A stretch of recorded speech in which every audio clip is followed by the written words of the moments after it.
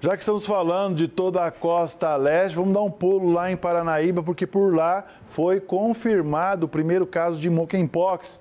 Alex Santos. A Secretaria de Saúde de Paranaíba informou que o primeiro caso positivo de varíola dos macacos registrado aqui no município foi descoberto há cerca de 30 dias e paciente contaminado com a doença tem 38 anos. Não foram divulgados mais dados do paciente, também o sexo, a fim de não identificá-lo. O pronunciamento por parte da chefe da pasta, Franciane Mariano Forni, aconteceu nesta terça-feira. A secretária destacou que no Brasil existem apenas oito laboratórios que realizam diagnóstico da doença. Então, dependendo de qual laboratório recebe a amostra, leva de 6 a 21 dias para ficar pronto e ter a confirmação da doença. Já em relação ao tratamento, o paciente ficou seis dias internado na Santa Casa aqui do município e atualmente o seu estado de saúde é estável, com diminuição das lesões e sem risco de transmissão para terceiros, recebendo então o diagnóstico de cura da doença. A secretaria não informou a forma de contágio do paciente com a varíola dos macacos.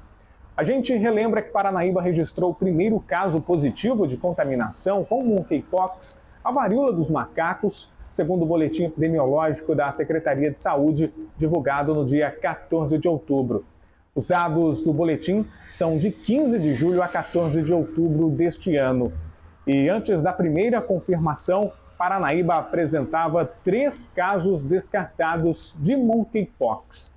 E conforme a Secretaria Estadual de Saúde, só para você entender melhor, as formas de contágio são contato íntimo com desconhecido ou parceiro casual e também contato com paciente confirmado ou suspeito provável da doença. Já em relação ao contato íntimo com desconhecido ou parceiro casual, 31,2% responderam que tiveram, 58,7% responderam que não e 10,1% ignoraram. Já o contato com paciente confirmado, suspeito e provável da doença, 18,1% responderam que tiveram, 72,5% responderam que não e 9,4% ignoraram.